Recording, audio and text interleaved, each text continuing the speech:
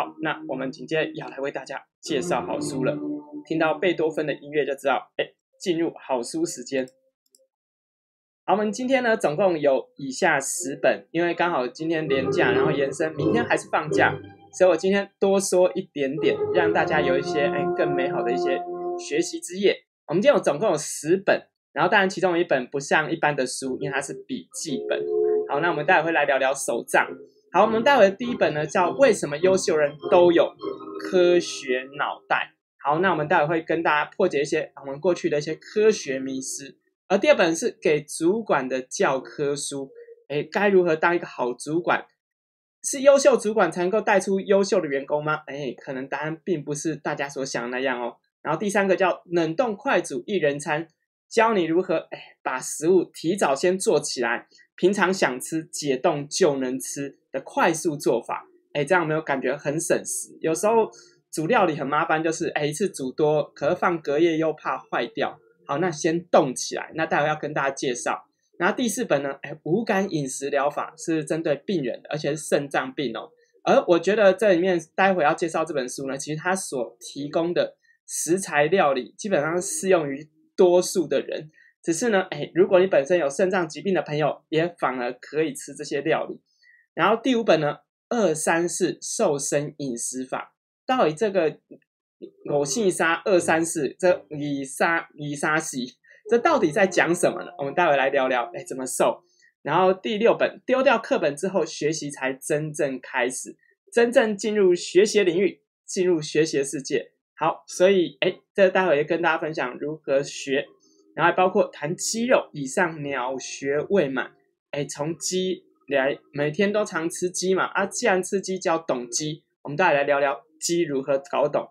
然后第八本斗财猫的心情啊，这本书呢是一个插画的书，哎，绘本插画型的书，来待会跟大家分享里面的励志故事。然后第九本面试完美父母，过去呢，哎，好像都是父母在挑孩子。哎，这本书是小说，它反过来哦，是由孩子来选择父母。好，那带回来分享这个非常特别的小说故事，然后以及哎最后的哎跨年分手账，哎我们要分手了，可是分手账并不是分手，是它是一个非常特别的账本的手账形式，待会跟大家来分享。好，所以在今天内容，你最想要阅读哪一本呢？也欢迎你在下面留言分享。你今天想阅读的主题和内容的书喽。好，那紧接着我们要介绍我们今天的第一本。有人说喜欢第五本，很好，每本都还蛮不错的。好，那今天的第一本呢？为什么优秀人都有科学脑？好，在我分享这本书的时候呢，我在今天预告就发现，哎，有朋友就在那个留言区留言说，哎，他已经买了这本书，哎，所以这本书真的很有意思哦。好，这本书的作者是一个韩国人，叫刘廷之。他本身是一个气管顾问，好，他自己非常热爱科学科普的知识，然后进而做了很多大大量的整理。他说，我们常常有一些哎，对于科学知识其实是似是而非，甚至是误解的。包括有一个叫鲶鱼效应，哎，鲶鱼效应什么呢？就传说啊，如果我们希望能够让那个我们养殖鱼类能够活泼，在运送过程当中不会在那个车上运输过程死掉，只要放一个鲶鱼，而这些鱼因为有公有。有天敌在，所以就很活泼，一直动一直动，就比较不会死掉。哎，这是真的吗？带回来跟大家破解。好，这本书呢，要带你来启发一些日常生活当中常常知道、听到的科普知识。然后他说啊，其实啊，像比尔盖茨啊、祖克伯啊，哎，他们都非常热爱科学书，甚至是现在首富伊隆马斯克，哎，他也是热爱阅读科学书籍，才能够得以持续创新。所以这些卓越的领导者都非常热爱科学的书籍，而这些科学书籍也影响哎他们对于很多科技的发展。所以呢，科学书很重要。那我分享其中刚提到的几个点。好，我分享三个我觉得读到的小故事，这个很有意思。第一个叫做鲶鱼效应。好，我们常听到鲶鱼效应呢，认为把鲶鱼放到像泥鳅或者是一些鱼类的鱼缸当中，这些泥鳅为了躲避鲶鱼。会频繁移动，而进而能够更长寿。好，这个其实是有误解的哦。他说，我们很多人会把这个解释成适当的紧张会比处在安逸的环境让人更奋发向上，获得成功。好，那这过程当中，经过另外一个不同的心理学研究呢，认为其实当掠食者存在，其实不会让猎物变得更健康，反而会有致命的影响性，因为包括行动变得迟钝，甚至求生意志变弱。你会想说，哇，完了，反正都要死，都要死。所以这是在书中里面针对鲶鱼效应重新破解，打开大家不一样的思维观点的。然后另外一个，我们听常听到说，哎，要定目标。对，书中也说要定目标很重要。可是科学化的定目标呢？他说，如果你目标定得太高，很容易让人变成失败者。而一个距离太远的终点，有些人在出发前就会感到精疲力尽，甚至干脆放弃。所以最重要的是，你必须要把你的大目标变成更小的成就达成。所以呢，很多人说，哎，每年都会定下新年新计划，可为什么做不到？就是因为计划太大了。所以不如把它改成不要定每年的，你可以定每季的，把它缩小一点，让每季都能够看到成功，甚至每周都能看到成功，以小成功来激励自己，这样的效益远高过你定了一个非常非常高远的目标。所以就像有一本书提到的，原子习惯，每天都做到，比哎你想说我一次要做很多还来得重要。好，那延伸第三个小故事，这个要谈什么？每天很多人都会喝的咖啡，好，咖啡为什么会让人睡不着呢？好，咖啡睡不着原因其实主要是来自于，每一杯咖啡当中含有百分之一点五左右的咖啡因，而这咖啡因呢，哎，大家请猜看，真正的咖啡因是什么颜色的？请在下面留言区分享，让大家猜猜看，你有没有猜的对？猜的对，所以咖啡因是什么颜色的呢？好，他说我们身体一旦疲劳会生产生一种物质叫做腺苷，但这个腺苷呢会与神经的细胞的腺苷受体结合，使我们的神经细胞变得迟钝，就进而昏昏欲睡。所以这借由睡眠来减少肾上腺素的浓度，而也是帮助身体重新调节、恢复活力的自然过程。可是呢，咖啡因的分子啊，类似腺苷，会直接代替腺苷跟我们身体的腺苷受体结合。这么一来呢，身体就不知道疲劳，还以为恢复了活力。所以，另外咖啡因还会收缩血管，提高血压，刺激肝脏的血糖分泌。所以喝咖啡，哎，才会睡不着觉。所以这也是一个小提醒哦。我从这里面提醒一个什么点呢？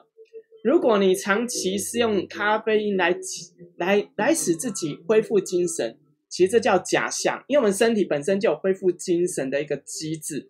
如果你本身如果不喝咖啡就非常非常疲劳，其实是一个警讯，还有提醒哦，就是身体告诉你你真的太累了，你的细胞需要停下来好好休息。这时候请不要用咖啡因来欺骗自己的身体，说我还能够撑得下去，没有这样撑下去可能会对身体有严重的受损。好，所以这是今天介绍第一本书，为什么优秀人都有科学脑？好，那刚请大家猜看咖啡因什么颜色？咖啡因的颜色是白色的，真实的咖啡因结晶是白色的，并不是咖啡色或黑色，它是白色的。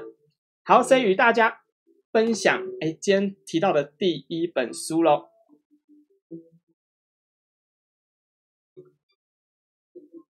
哇，所以每个人喝咖啡都会想睡，那其实这是一个警讯，还有提醒哦。如果你本身喝咖啡想睡，那就要提醒自己，是不是身体真的太累了？真的太累了。好，那紧接着要介绍第二本书，第二本书。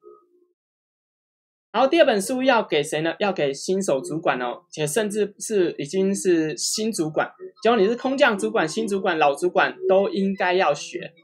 他说，如果你觉得你自己本身是一个主管，不太会说话，哎，甚至不太会教人，那该怎么办呢？好，所以也欢迎大家可以在下面留言写下，哎，你自己曾经历过什么样的好主管，也写下你曾经历过什么样糟糕的主管，在下面跟大家一起聊天、留言互动吧，聊天留言互动吧。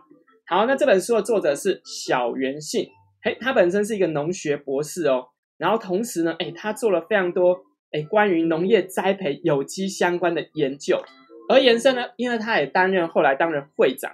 他自己在担任主管过程当中，他深刻体验到，哦，当一个主管真的不容易，所以他就试着写下了关于新主管或老主管应该学的各类知识。所以这本书获得哎日本亚马逊管理类 Top Two 以及领导类 Top 三上百位读者评价五颗星。好，它里面提到，如果你过去总认为主管应该舌灿莲花，哎，甚至主管应该要很有权威或没有权威，就很极端性的，然后甚至觉得哎，嗯，就是如果要管理下属，就必须要很严谨的定下很多规范。好，那这本书要告诉你，如果你越来越累。那通常就是你太能干，而变成属于被动型的那个什么被动型的员工太多了，因为他们常要听你的指示。这样说自动自发人才怎么样产生呢？有几个点哦。第一个，不要给下属正确答案，让他们在这过程当中试着去寻找哎可能的方针或方法，然后当然也或许能够刺激出新的可能性哦。然后第二个，不要直接指示下属。说应该怎么做？哎，其实这跟刚第一个那个标准答案很像。然后第三个，不要告诉下属工作的秘诀，哎，让他用观察方式来询问你。然后第四个，不要讨好下属，讨好来的并不是最好的。所以称赞可以，可是并不要过度称赞。然后最后一个节就提到称赞下属的部分。好，那这本书里面提到什么呢？提到一个三国的故事。他说《三国志》里面有非常多主管。管理学都应该好好来好好读一下。好，那其中有一段是，哎，不是三国，是刘邦汉朝成立的故事。好，时势造英雄，刘邦统一全中国，建立汉朝。统一后，到底谁的功劳最大呢？好，当然很多站在一线的将军都认为自己功劳最大，期待受到表扬。可后来竟然被表扬的功臣，哎，最大的叫做萧何。而萧何在战场上做什么呢？他不上战场的，就萧何是没有战上那个战场去帮助刘邦打战的。那到底萧何做什么？萧何在后方负责后勤以及粮草。然后但这时候呢，当萧何被表扬的时候，其他将军就非常不服，就认为：哎，萧何又没有上战场，他功劳为何最大呢？好，那刘邦这时候开口说：哎呀，打仗时是谁送粮草给我们的？所以刘邦军他们的特征就是，他们常常打败仗，而且都输给项羽。而可为什么又能够很快东山再起呢？而且为什么项羽基本上很少打败仗，却在最后一一仗的时候一败涂地呢？好，里面又提到说，刘邦军呢虽然三不五时失败仗，可同盟却越来越多，因为他这里有饭可吃。而项羽呢，虽然每次打仗都能胜利，可是就进而哎。他粮草资源不足，进而四面楚歌，孤军奋战，每一次一打都是以最后一条命来方式打，所以这样被一直消耗消耗下去，就打不打不完呐。所以无论刘邦军败得多难看，萧何都有办法收集到粮草和武器送到战场。好，那这萧何呢，其实就是一个组织的主管，他就负责后勤的角色，来负责哎供应所有下属哎他们需要什么资源。你跟我讲，我就帮你找。而当然做事的还是要由下属第一线人员往前冲刺，可要让他们无后顾之忧，非常重要。虽然说被动人才怎么产生呢？他说，优秀人身边会有很多被动人才，因为他们总是习惯听优秀主管给他指令，同时喜欢哎跟着优秀主管看优秀主管来做事。所以一个主管太能干，好像并不是一件好事哦。所以这也是给所有的朋友一个提醒，欢迎大家为自己按赞，也鼓励你把它转分享，因为我们都要学一个成为一个聪明的主管，聪明的主管。所以说，不过萧何很奸诈，成也萧何，败也萧何。哎，或许是，或许是。所以放手让下属执行，状况发生再介入，这过程其实需要点勇气。不过一开始可以有一些停损的规范。就是有一些暗示说，哎，我们在哪些时候需要有一些停损，或者你的授权的部分，例如，哎，他可获得授权的权限啊，或者谈判的金额，这都是可在这过程当中，哎，让下属去练习挑战，而且有时候可能会有更大的经验哦。例如，你让下属去进行采购谈判，也就是说，哎，你希望他能够谈到在在别人采购杀价过程当中。你的底线是十块，然后当然这过程他可能哎谈到十一块、十二块，哎表示你的下属就超越你的想象力哦，所以这也是一个提醒。好，那紧接着我觉得下一本书还蛮实用的，实用在哪呢？使用在现在很多都是小家庭，然后这小家庭说真的，哎，一次煮太多真的很麻烦，就煮太多就要变隔夜餐，然后不想煮太多又很难煮，因为每次的料理一次下去就是要一定的量，否则锅子很容易超回答。啊，这时候该怎么办呢？好，这本书要告诉你，冷冻快煮一人餐，用微波炉来料理的手作。所以，即使你要栽培给那个远方的家人，你也可以用这种方式，一包一包的做好。我觉得这本书很多阿阿公阿妈看了会非常非常开心。他说：“哦，这样我就可以做料理给我的孙子了，就不用担心。哎，我做完之后寄过去，东西拍料料。好，所以这是微波一人餐，哎，让你在充满的过程当中更贴心的应援。好，我试着分享其中的几个。”像它里面非常多完整的图解，好像这个炒饭，好炒饭过去想象的是，哎，如果炒饭冷冻起来，那饭会变硬，因为那个水分被吸干嘛，就不好吃了。那真的可以用冷冻的方式来进行料理吗？好，那这个咖喱炒饭呢，它用的方式，它要提建议的就是一定要有一个冷冻保鲜袋。好，紧接着先把食材先事先调理好，例如洋葱啊、青椒啊等等的。料理后搅拌，然后再把白饭填入袋子里面，然后放入配料。好，那这过程当中，如果你之后呢，哎，要开始就是冷冻之后要解冻，请把配料和白饭分开，然后进而用依次的叠放。然后在叠放过程当中，白饭解冻需要一点时间，所以呢，他也建议，哎，不是不一定要用微波解冻，可以先用退冰的方式解冻。然后在半解冻的状态下呢。用搅拌的方式把它拉拉，然后盖上保鲜膜，在微波炉加热四分钟，然后在半解冻状况再拉拉，好，那进而能够让白饭跟配料融为一体。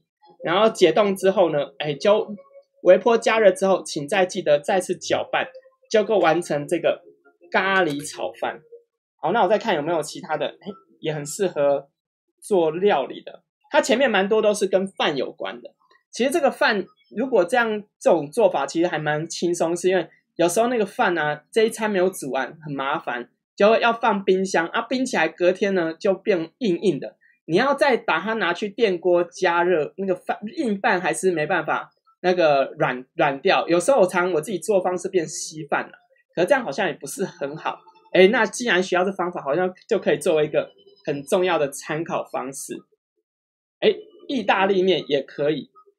好，将意大利面加盐滚水之后，然后进而，然后就进而在水煮的时间，请缩短，比包装袋当中少三分钟。就如果它包装袋说，哎，你的意大利面要煮十分钟，你就煮七分钟，然后紧接着再把那个哎煮七分钟的意大利面滤干水分，放在冷冻的保鲜袋里面，然后加入少许胡椒、橄榄油，用筷子搅拌后冷却。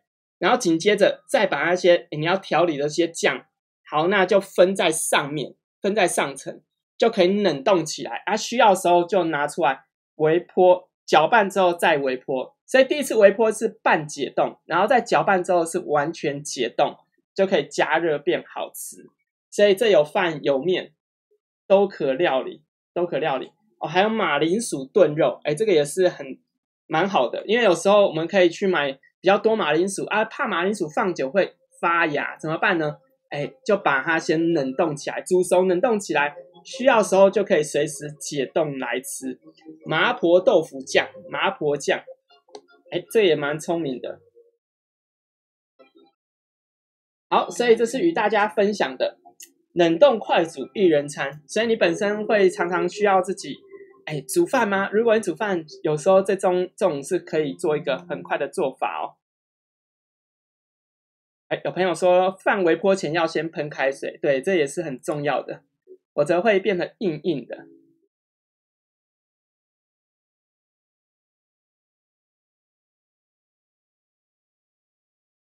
好，所以大家会自己需要煮用微波料理吗？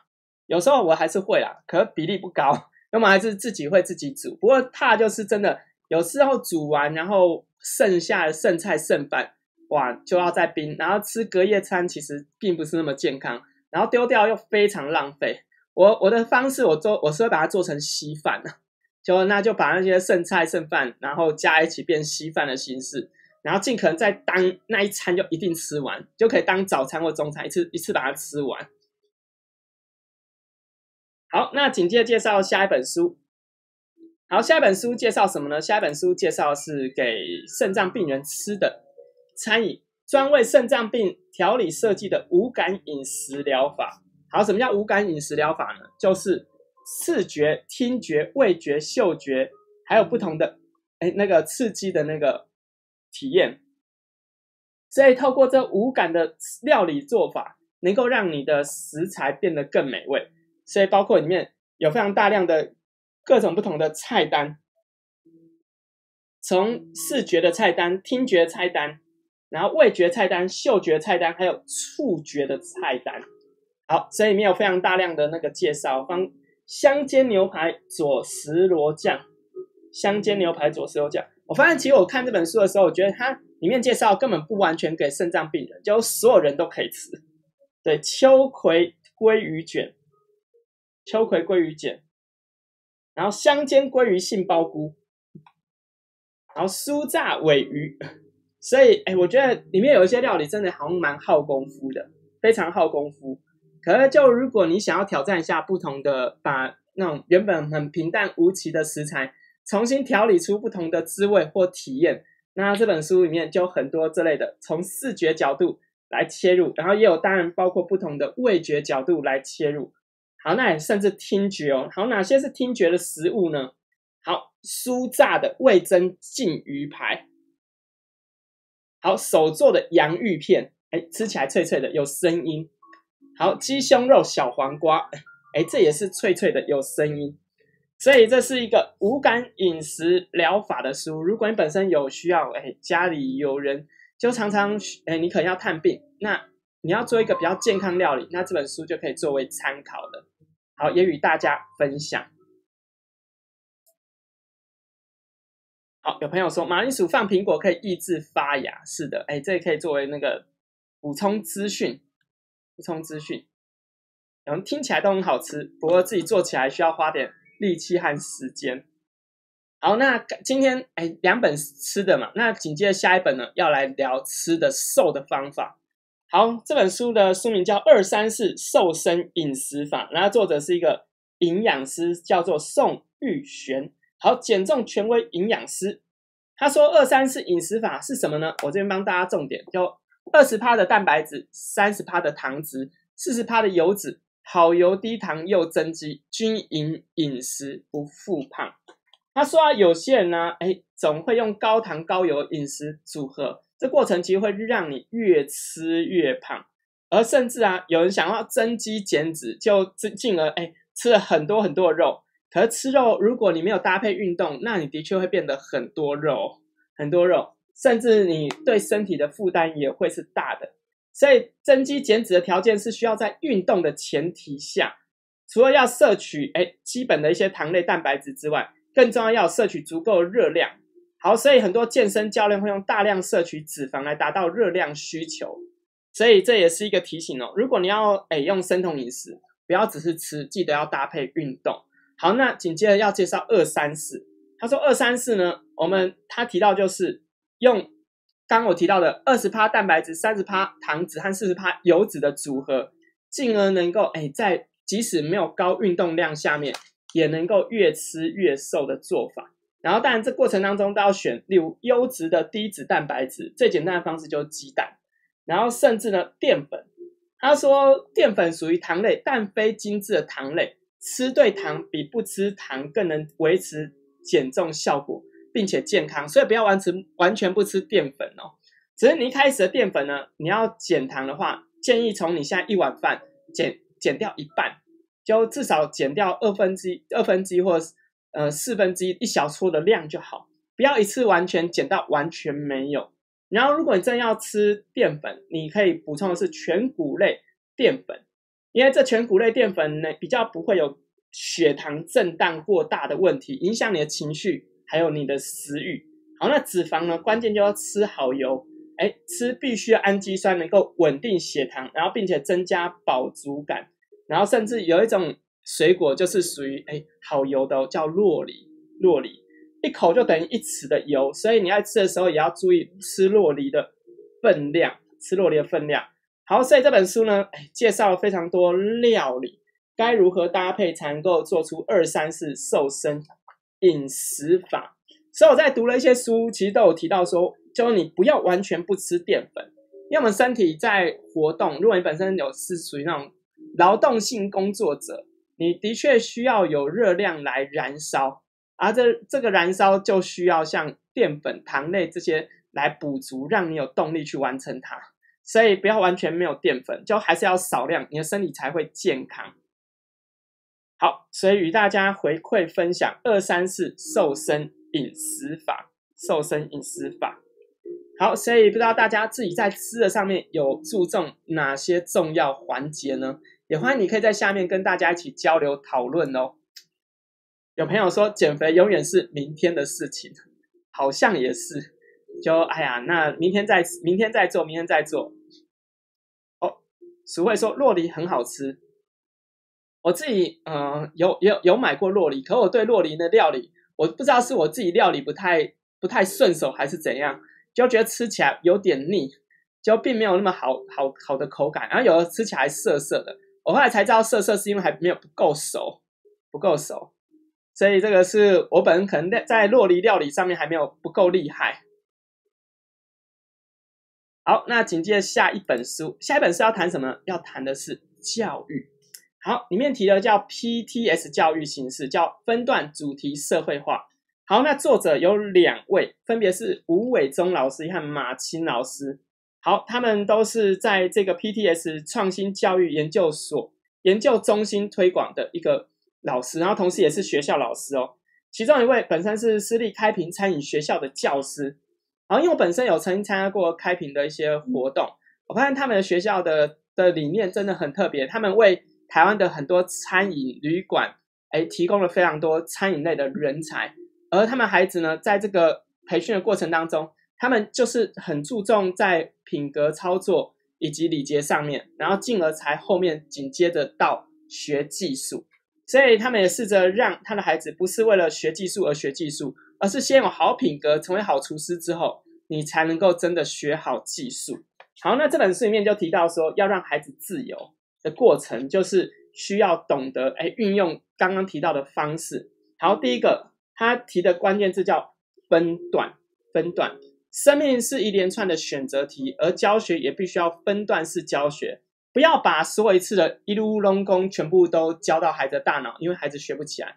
必须要教一步骤，学步骤，做一步骤，然后确认孩子做到了，再往下一步做做，这叫做分段式教学。然后第二个，每次在教学过程当中要有一个明确的目标，还有主题。然后第三个，社会化，就教的东西一定要能够落地。这落地指的是他出了社会就能用，出了社会就能用。我觉得这很大的提醒呢，因为我觉得现在很多有时候我们在学校过去我们自己的经验，好像很多时候学校学到东西。出了社会也不知道该怎么用，哇，那就很麻烦，只能再自己重新学。所以这老师呢，他们提倡分段主题社会化，把一个课纲重新做调整之后，让它真的能够落地实践。然后甚至呢，他还提到说，游戏用玩的方式，让孩子能够持续有兴趣的在学习当中，然后同时学会合作，学会协作。甚至要让孩子懂得练习分享，然后这还有其中一个关键字叫做要让参家长也参与在这个学习领域里面。家长本身，哎，如果要加入这个学校团体，必须要成为学校老师之友，不是单纯哎那个就全部交给老师。像我上次听开平的其中一个老师说，他们每一个学期都会让班上的学生家长一一来分享自己的工作经验领域。来跟自己的所有的呃学生同学交流分享，然后有的是做水电工的，有的做工地的，不同领域也刺激了孩子不同的视野和观点，而父母自己也担任老师的角色，我觉得这是一个很好的一个做法，就让家长本身参与学校的教育，然后自己也能够成为学校教育的一份子，然后这也会成为另外一种榜样，还有提醒，然后紧接着。第九个、第八个关键字叫老师。他说老师，哎，是让孩子好好活成一个人、养成一个人的重要关键之一。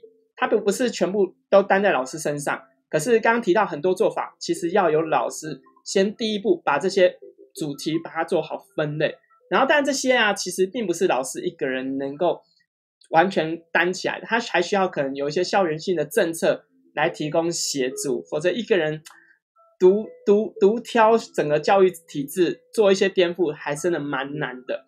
然后第九个重点叫做让学生自己喜欢自己。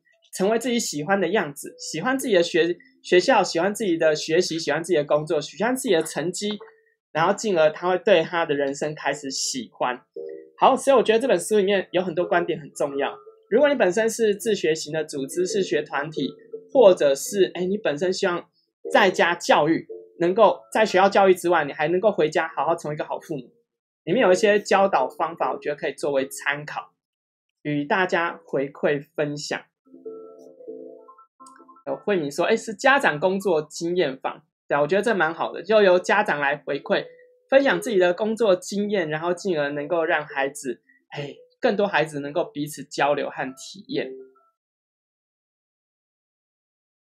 好，那紧接着要介绍下一本书，也欢迎大家为今天内容按赞，并且转分享喽，让我们一起来学习一个美好的知识之夜。然后我们阅读人讲重点，会为大家介绍许多好书的重点。”也更鼓励你为今天内容按赞，透过按赞给阅读人鼓励，同时也给你自己一个大大的鼓励，还有慰藉。好，那下一本书要谈什么呢？要谈的是肌肉以上鸟学未满。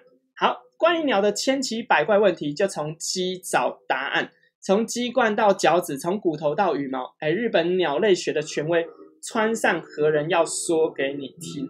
好，所以这是一个鸟类的所有的研究，用鸡来了解。所以你要了解，哎，为什么鸟会飞？为什么你那个老鹰那个什么老鹰的爪子这么这么有力量？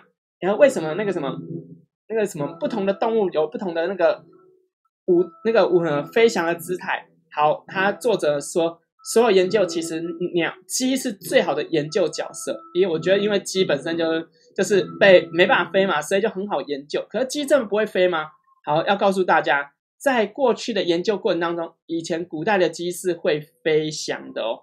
它是遇到危难的时候，它是可以飞起来的。然后，但它飞不久，它飞不久，可它是可以飞的。然后紧接着现在的鸡呢，啊，为什么都不能飞？好，原因就在于我们现在鸡都是经过改造的，是透过人工培育、饲养过程当中，甚至不断的。哎，优胜劣败的挑选，只挑那个鸡胸肉比较多的、肉质多的为主的肉鸡，进而现在的鸡，哎，就可能都是脂肪过多或肉过多，飞不起来。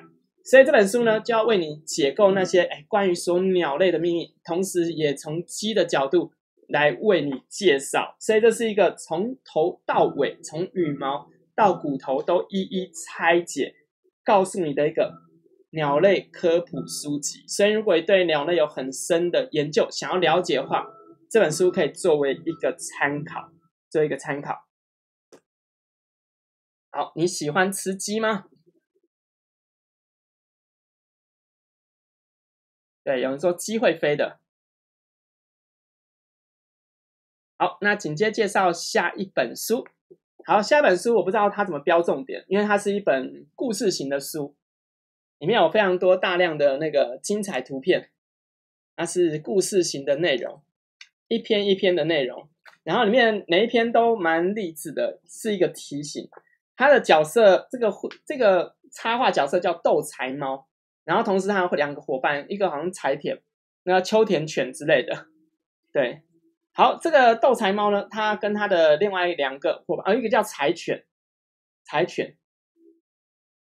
不过两哦，另外两只都是柴犬，只有一只是猫啊。他们两个一起相处，我不知道是不是作者自己养的，然后所以写下这段故事。然后同时他用拟人化的方式来写，他说很多害怕都是自己吓自己。他说随着年纪越大，越来越发现胆子越来越小，对未知越来反而却步，差点忘了小时候那个奋不顾身的自己。跌倒了又如何？再站起来就好。所以他一篇一篇都很励志的给你一些提醒。然后像这一篇写。哎呀，做人戴面具太累了，还是真实做自己就好。然后下面就有作者的注释，他说，在复杂世界里，有时候不得不戴上面具，也许在面具背后能够得到一份安全感，但这一切的假象只是给外人看，做真实的你才是最重要的。然后甚至呢，哎，像这一篇，工作不工作一点都不难，难的是不工作就活不下去啊。好，那该怎么办呢？下面写说，其实处理工作本身一点都不累，让人累的通常是处理人的事。而为了生活，我们只能努力，给自己一个目标，让自己有动力继续前进吧。好，这是一本插画型的作品，然后同时后面有四格型的漫画，你可以透过这方式来阅读。我觉得这本书蛮适合给那个国小、国中的同学和朋友，可以从这里面哎给他们一些激励和鼓励，然后也同时读读一些小故事，所以大家分享斗财猫的心情。有你陪伴真好，也谢谢大家陪伴阅读人哦。好，那紧接要介绍下一本书，也鼓励大家跟着我们一起阅读人讲重点，听重点学重点。然后当然你也可以在下面跟大家交流讨论，透过线上讨论方式、线上读书的方式，一起学会人生的更多重要重点哦。好，那紧接着往下读下一本，下一本我觉得是蛮好的小说，它是一个很大的提醒。我这边帮大家标一个重点。我先把那个聊天画面关起来，这样才看得到文字。父母对孩子期许百百种，可是我们曾问过孩子说：“哎，你有没有想过你想要什么样的爸妈呢？”好，那个作者叫李喜荣，他以短篇小说《活着人》曾经获得大奖，而这次呢，他要写一个跟亲子关系的小说。他说，未来世界呢，生育率低的非常非常严重。好，那国家面临生死存亡，而被遗弃的孩子拥有一个权利哦。就是选择父母的权利。好，所以这是有点颠覆我们过去的思维。其实这概念就有点像是什么呢？就是呃，如果孩子就如果有人要领养，过去都是父母那个领养父母来决定我要领养谁。哎，可是这个故事里面是反过来的哦，是那些被遗弃的孤儿可以选择，哎，谁才能够领养我？谁每个要来领养的人呢？哎，这些都要跟这些孩子面试。而这面试过程就能够不断的看到，哎，这些，哎，到底这孩子期待的父母是什么样子？这本书呢，哎，在韩国大热销，达到数十万册，有非常大量的青少年评审说，哇，超级真实，这根本就是我的故事啊！所以呢，那你是什么样的父母？你孩子喜欢你吗？你孩子想要什么父母？你有没有跟他交流讨论过呢？我觉得这是一个蛮值得好好跟孩子一起。讨论的题目，哎，就是问孩子说，哎，你喜欢怎样的人能够当你的爸爸妈妈？是每天让你玩游戏呢，让你每天吃零食呢，还是有时候严厉，有时候奖励的呢？哎，那你喜欢跟我们在一起吗？透过一次一次的不断这种交流提问，我觉得是一蛮好的增进亲子关系的过程，亲子增进关系过程。所以大家分享，哎，这是第九本，第九本。面试完美父母这本书的名字叫《面试完美父母》，所以如果你想读这样的小说，哎，可以去无论书店、图书馆或网络上找一找，如果适合的话，就把它买下来自己阅读喽。好，所以这是第九本。好，那紧接今天的第十本，第十本是手账。好，那个是 Moskin 的手账本，我把它点出来。好，这次手账很特别，就厂商寄给我，然后这也是公关书，我到时候会做活动来送给大家。然后，但我发现这书这笔记本还蛮不便宜的，平均每本都破五百到一千多以上。可是呢，我觉得里面这个这个这次手账很特别，它是半年账，叫分手账。什么叫分手账？它是从呃今年的六月到明年一整年的账本的手账本。所以这里面包括像这个是哈利波特版本，然后还有小王子版本，然后我看它的网站甚至有史努比版本，我这边有小王子版本，小王子版本。好，那像这种手账本里面会有什么样的呈现形式呢？然后有硬壳版和软壳版，给大家看一下，就是一边是呃日历，一边是空白，留给你做笔记记录。然后也分享一下我自己，如果像使用这种手账，我的做法。我通常的做法呢，我这边会写的是，我分享我自己过去啊，因为我现在用电子手账。如果过去用手手那个纸本手账的话，我这边就会做我每天该做哪些事情。好，为什么我现在没有用纸本手账？因为我现在每天事情实在太多了，多到纸本像这种格子太小，我我我写不完。对啊，所以我现在用电子，然后也比较能够手机带着就知道我今天还有哪些事没做。啊，如果你是用纸本的话，你喜欢纸本，不知道有没有朋友喜欢纸本，你就可以用这种方式。这边可以记下你每天要做什么。好，那左半边呢，你可以做的事情叫做，请在上面写下你这周的目标，然后透过这个不断提醒自己有没有每周完成的目标。因为可以定三项小目标啊，你如果有完成，就会激励自己，哎，我这个礼拜有进步，哎，不会真的每次好像都没有前进一样。所以用这种方式提醒自己，哎，我这一周有前进。然后当然其他地方可以做一些呃重点笔记啊、记录啊，然后来做整理，来做整理。所以这是一个手账的呈现形式，然后当然在最后几页，你也可以当做子弹笔记的一个空白页来进行。好，那我分享一下，它有一个子弹笔记的版本。我刚刚有查一个子弹笔记的版本。好，这是子弹笔记。好，那什么是子弹笔记呢？子弹笔记就是它里面都是空的，然后只有角落会有页码。然后进而这种子弹笔记能够帮助你，哎，我知道我要找的内容在哪里，所以它前面会留几个空白页作为索引页，让你知道，哎，这一个重点是在第几页第几页。所以如果你对子弹笔记有兴趣，欢迎网络上搜寻，有蛮多厉害的达人分享了子弹笔记的做法，然后紧接着在后面空白页就可以让你好好来利用，好好来利用。随着子弹笔记、纸本笔记的做法，然后甚至呢，在这次的。他们家出的笔笔记手账还可以做一件事情，就是列印那些家具，把它印在下面，这样你可以选择一些名言家具，哎，做自己独一无二的手账记录，为你烫金，为你烫金。所以你本身喜欢用纸本手账吗？好，如果有兴趣的话，也欢迎大家可以去哎网络上搜寻了解。然后，但成品。他们这个产这个系列其实就成品好像都会有卖，如果大家有兴趣，可以自行去参考，自行参考。好，所以这是今天与大家分享的十本书，所以不知道这十本哪一本让你对印象深刻呢？也欢迎你可以在下面留言，跟着我们一起聊聊喽。然后也希望我们所介绍内容能够为你大大启发。